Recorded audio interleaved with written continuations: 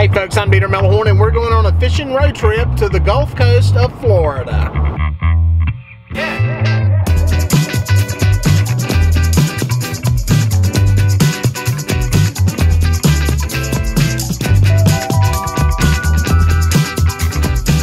Well folks, loaded up heading south. Uh, got the boat in tow. Uh, got all my fishing rods, all my gear, swapped everything over from the catfish stuff to the saltwater hopefully got everything got the tackle. Uh, my big thing is now I don't have any bait so it's gonna be the first thing I'm gonna try to figure out when I get down here. The long drive down. Little nervous about it. I've done some you know four or five hour pulls before heading to the beach Tennessee that kind of thing but when you're looking at uh, nine and a half hours I just uh, it's a lot of room for something to go wrong. Hopefully uh, good Lord willing I have a good safe pull down there and uh, we'll get down there and get some good weather. It's raining. Uh, it's going to rain for a couple of days. We're going to have some wind. Uh, the uh, storm that is coming in, it's going to leave some wind behind. So it's looking like Tuesday, Wednesday may be kind of snotty, but Thursday through Saturday is uh, looking good with some really calm seas. So uh, three good days, it looks like, of fishing. Uh, and a couple others to get out there, maybe play around in the bay and see what's going on. Uh, it's an adventure for me. Uh, this is like my big trip this year, and I've been saying for 20 years, man, I'd love to pull my boat down here. And I'm finally doing it. So I've got a full week down here committed to it, and uh, it'll be fun. It's going to be an adventure. I hope we catch some fish. It's going to be fun anyway it goes. All right, folks, the wife sent me out to Walmart to grab some stuff for lunch. Uh, it's always a bad idea because whenever I'm in town, someplace out of town, I always like to hit the Walmart.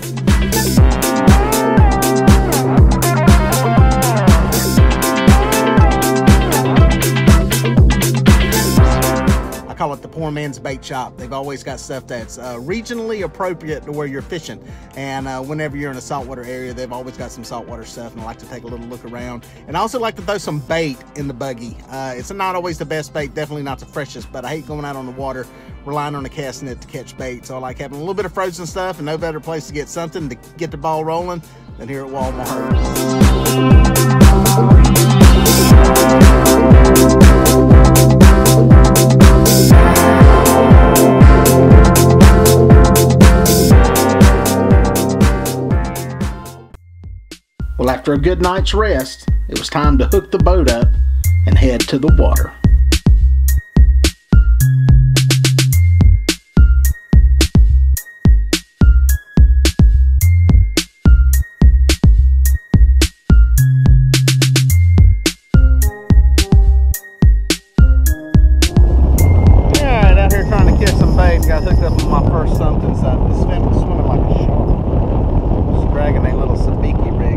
here.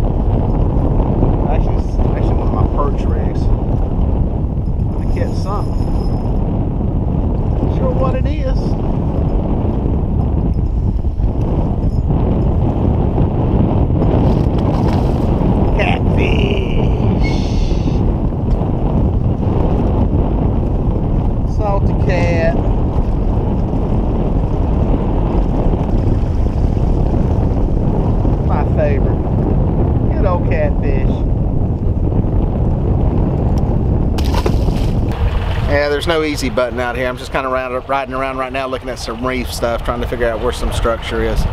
Uh, a little frustrating, but that's fishing, especially when you get in a place where it's not your home territory.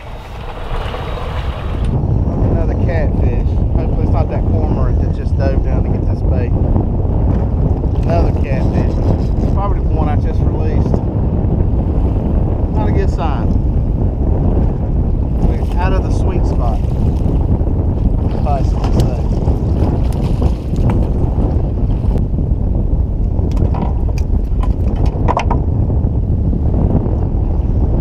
Another one. Bad sign, bad sign.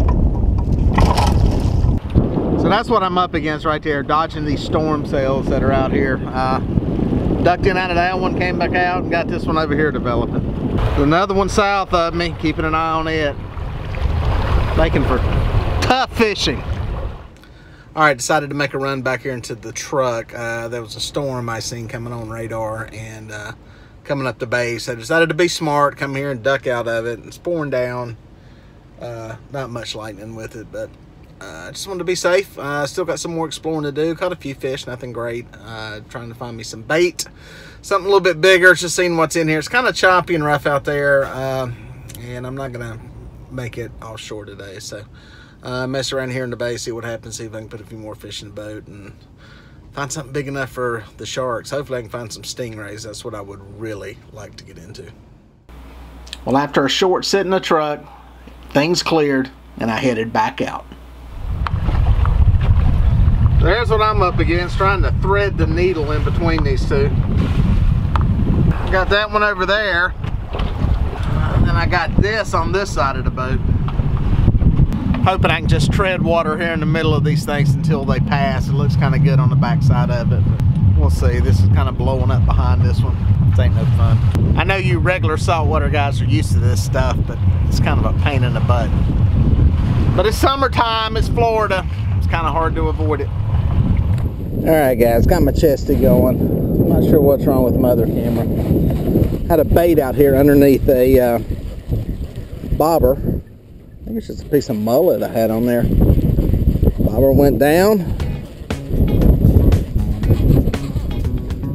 Just took off. Not sure what it is. I have no idea.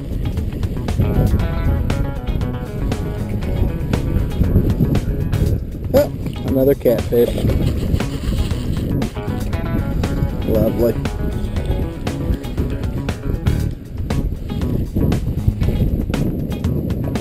Big one, but a catfish. Oh. God, Evan. They're pretty. But they're a nuisance. Well, folks, I may like to catch catfish at home, but when you start catching them in salt water, it's time to head home.